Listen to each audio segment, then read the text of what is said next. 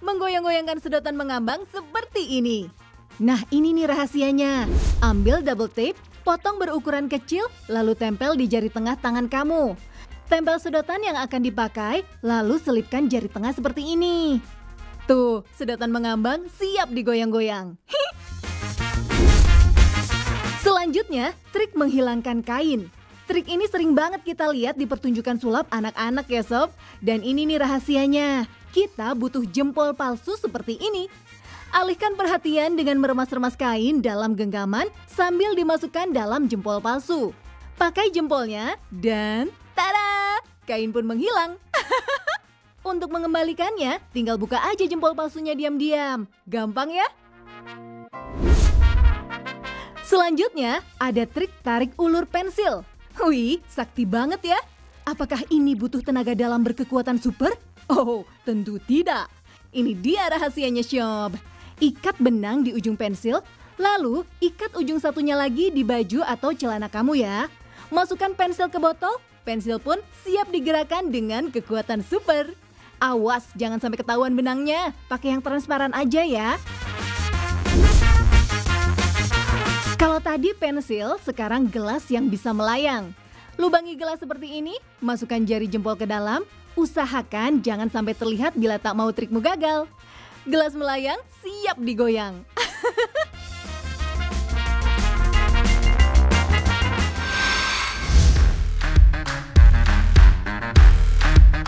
Sekarang, tingkatkan skill bermain sulap kartu yang juga cukup populer nih sob. Trik pertama, membelah tangan. Ih, kok serem ya?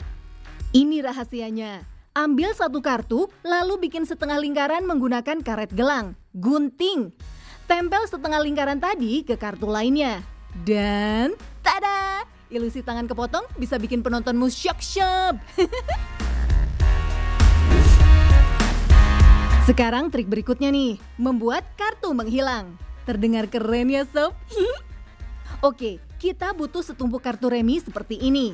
Ambil kartu teratas, lalu gosok-gosokkan di meja. Pura-puranya kartu akan menghilang kalau digosok. Eh, tapi kok belum ngilang juga? Tenang, ini triknya. Gunakan kecepatan jari kamu untuk mengembalikan kartu ke tumpukan. Lalu pura-pura ambil kartunya lagi. Ingat ya, pura-pura. Gosok-gosok lagi kartu dan... Tara! Kartu sudah benar-benar menghilang nih sob. Mayan ya buat tipu-tipu mata.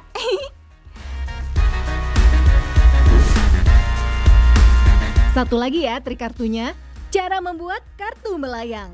Wih, terdengar keren ya sob? Trik ini membutuhkan tali yang tak terlihat. Kamu bisa membelinya di toko-toko sulap.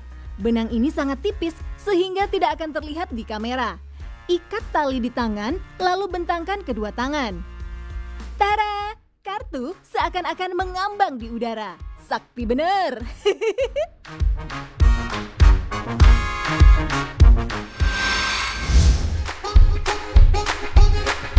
Oke, sekarang kita lakukan trik sulap dengan koin ya sob. Jadul sih, tapi tetap menarik untuk dilatih. Ayo, bagaimana cara membuat koin ini menghilang? Pertama, ambil koin lalu letakkan di meja. Gosok-gosok perlahan sambil sesekali mengangkat tangan. Lakukan terus sampai koin terdorong ke belakang. Pura-pura angkat tangan lagi dan... Iya, koin sudah menghilang.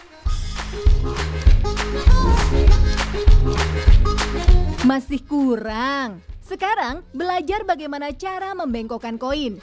Duh, mbaknya aja sampai dibuat bingung ya sob. Kita butuh dua buah pulpen yang biasa dan memiliki lubang seperti ini. Spidol khusus ini punya engsel di tengah yang bisa ditekuk dengan mudah. Seperti terbuat dari plastik, padahal spidol ini dari logam keras yang bisa memotong loh. Nah, lubang di tengah ini tempat untuk memasukkan koin. Tekuk